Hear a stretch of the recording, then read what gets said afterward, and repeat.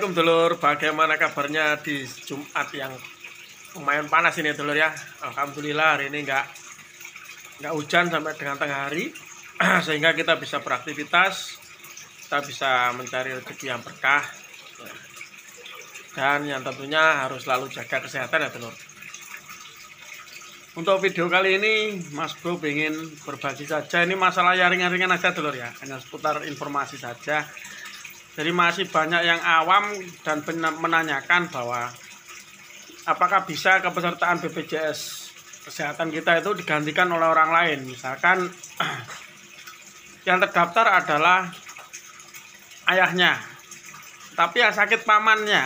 Nah, karena tidak serumah dan mungkin usianya hampir-hampir sama atau yang ya member-member lah yang penting pamannya yang gunakan boleh atau tidak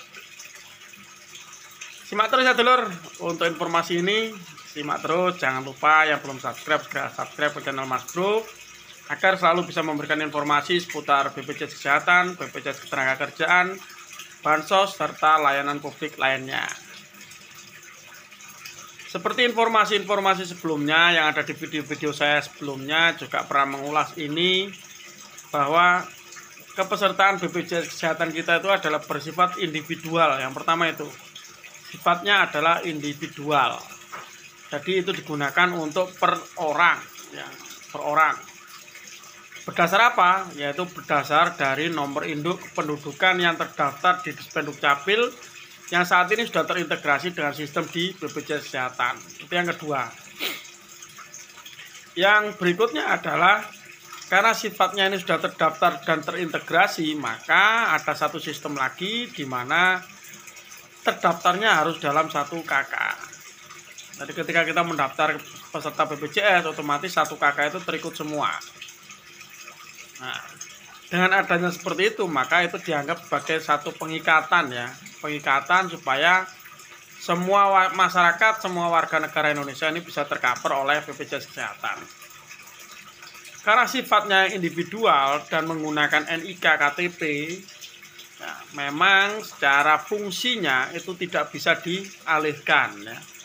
Jadi kalau yang terdaftar A maka yang berhak menggunakan adalah si A. Jadi tidak bisa digantikan oleh si B atau yang lain. Dengan alasan apa pun ya. Memang dulu masih sering kali di awal-awal BPJS muncul itu masih sering kali ada fraud ya atau penyelewengan di mana kartu tersebut digunakan oleh orang yang tidak berhak sehingga ada satu akibat yang muncul ketika yang bersangkutan sendiri yang sakit. Rekam medis yang sudah ada di rumah sakit itu tidak sesuai dengan apa yang didiagnosakan baru oleh dokter kepada pasien tersebut.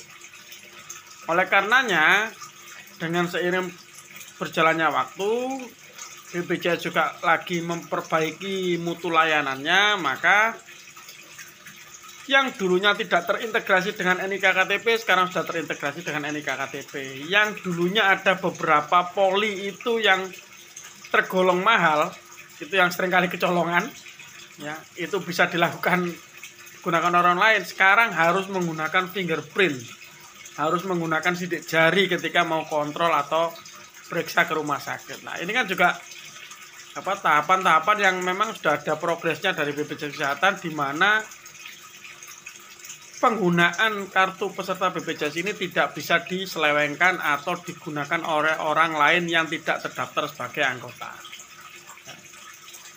Saat ini sudah banyak sekali pemerintah-pemerintah daerah yang juga secara apa berinisiatif untuk bekerjasama dengan BPJS menanggung apa kesejahteraan atau pelayanan kesehatan bagi masyarakatnya yang dinilai kurang mampu ya yang mungkin saat ini belum terdaftar atau kurang mampu dan tidak terdaftar PBI. Jadi itu diambil alih oleh pemerintah daerah. Ya. Jadi ada yang namanya PBI APBD, ada juga nanti yang kerjasama seperti konsorsium antara kesepakatan antara BPJS Kesehatan dengan pemerintah daerah sehingga masyarakatnya hanya cukup bawa KTP saja untuk berobat ke fasilitas kesehatan baik puskesmas maupun ke rumah sakit.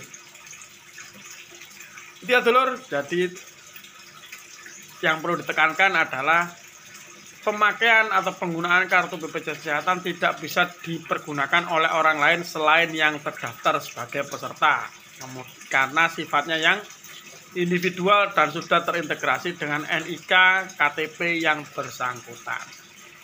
Itu ntar ini jangan lupa yang belum subscribe segera subscribe channel Mas Bro agar selalu bisa memberikan informasi seputar BPJS Kesehatan, BPJS Ketenagakerjaan, Bansos serta informasi layanan publik lainnya. Matur dulur.